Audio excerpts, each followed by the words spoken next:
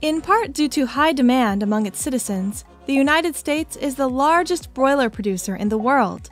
And although billions of pounds of chickens are slaughtered and sold each year in the US, have you ever wondered how the process takes place? Starting from scratch, or better to say, egg, how do the companies reach unimaginable numbers of chickens every year? Let's see how broiler chickens are produced in America. The United States has become the world's second largest exporter of broilers after only Brazil. Georgia, Arkansas, Alabama, North Carolina, and Mississippi are the top five states in terms of broiler production. The firms have signed contracts with about 25,000 family farms to ensure a certain amount of produce.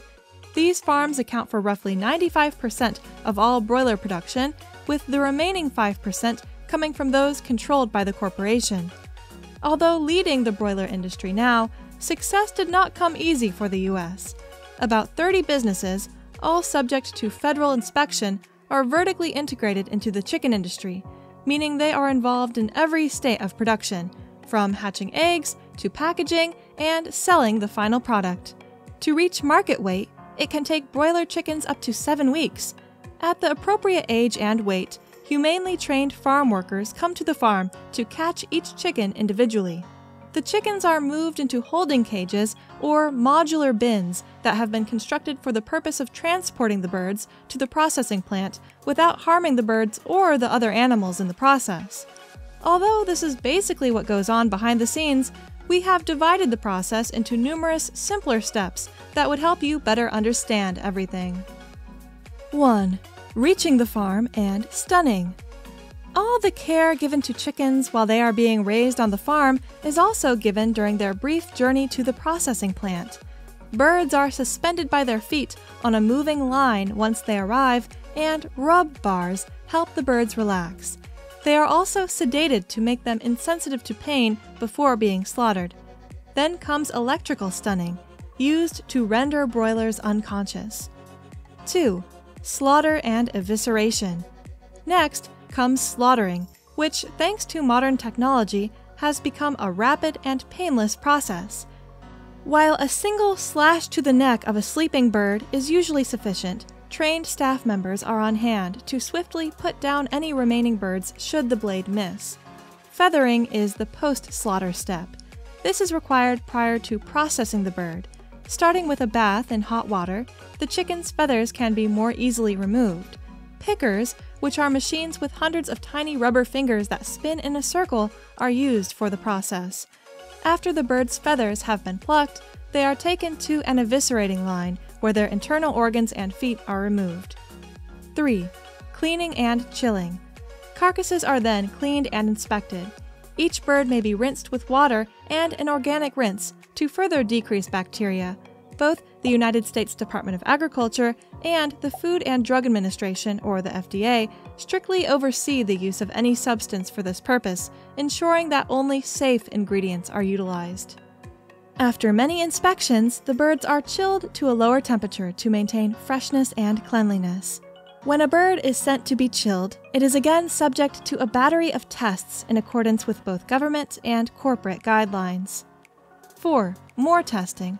Microbiological tests, undertaken by both private companies and the USDA, are performed on equipment and finished goods at chicken facilities after the birds have been cooled. There will be salmonella testing and other similar procedures performed. Due to the efficiency of these procedures, the proportion of positive salmonella results relative to total production is extremely low in the industry. 5. Processing. After the carcass has been thoroughly inspected, refrigerated, and cleaned, it is often sliced and deboned so that it can be used in a wide range of goods. The chicken used in restaurants and for export may come from the same processing factory as the fresh and frozen chicken sold in grocery stores. Every piece of chicken undergoes more than 300 inspections for quality, freshness, and safety altogether before it ever reaches consumers.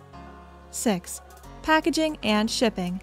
The finished chickens are wrapped, and once this is done, the item undergoes yet another round of quality checks. A blast tunnel is used to rapidly cool the product that has been wrapped. This ensures that the product will remain fresh for a longer period of time. When the product has reached the appropriate temperature, it is then weighed, and the price and safe handling instructions are printed and attached to the package. The product then goes through a metal detector for a final inspection to rule out any stowaways. Next comes the labeling, by which you can tell when a product was packaged, where it was made, and what USDA inspections were performed on it. And only after all these steps can a product be shipped. The chicken is finally on its way to the supermarket. Trailers are checked to make sure that they are cooled and cleaned before the finished product is loaded onto trucks. Sealing the trailer with a tamper evident seal is the final step before sending the load out. To maintain the product's safety and purity, the seal is not broken until it reaches the buyer. This brings us to the end of this video. If you liked the video, please consider subscribing and sharing so we can keep bringing more content like this. Also, let us know your thoughts in the comments below. See you next time!